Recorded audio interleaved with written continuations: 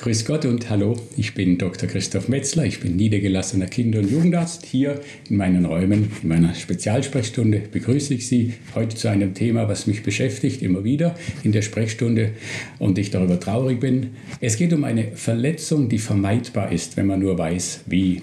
Es sind Verletzungen, die in der Kegelbahn passieren, genauso auch im Bowling Center.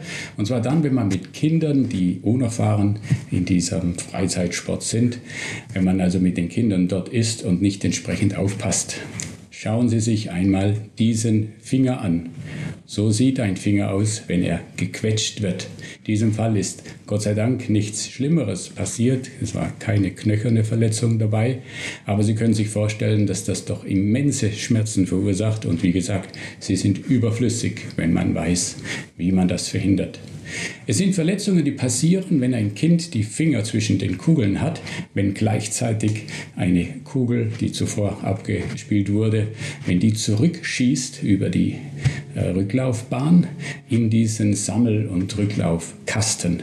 Wenn in diesem Moment, wo die Kugel, die kommt so schnell zurück, dass ein Kind nicht rechtzeitig reagiert, übrigens wie Erwachsene auch das eine oder andere Mal nicht, aber ähm, es reagiert nicht rechtzeitig, zieht die Finger nicht rechtzeitig zurück und dann passieren solche Verletzungen. Aber glauben Sie mir, ich habe schon Schlimmere gesehen, wenn der Nagel herausgerissen wurde und auch der Knochen zertrümmert wurde. Das sind schreckliche und völlig überflüssige Verletzungen. Sie zerstören natürlich dann ein solches Fest, weil entsprechend geschockt sind die Kinder, auch die, die da mitkriegen, wie ein Kind plötzlich massiv aufschreit.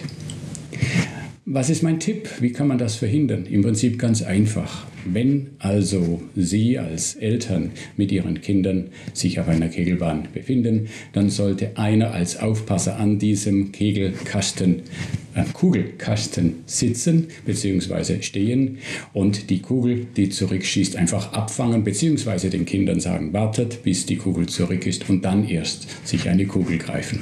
So einfach kann es gehen. Ich erfahre, dass dieser Tipp noch nicht in der allgemeinen Bewusstseinsebene angelangt ist und deshalb hören Sie ihn jetzt von mir. Zähneknirschen bei Kindern sprechen. Es kommt häufiger vor, dass Eltern besorgt sich darüber äußern, dass ihr Kind mit den Zähnen knirscht. Einmal sind es die Eltern von ganz jungen Babys, die ihre ersten Zähne bekommen, und zwar, nachdem sie die unteren bekamen, auch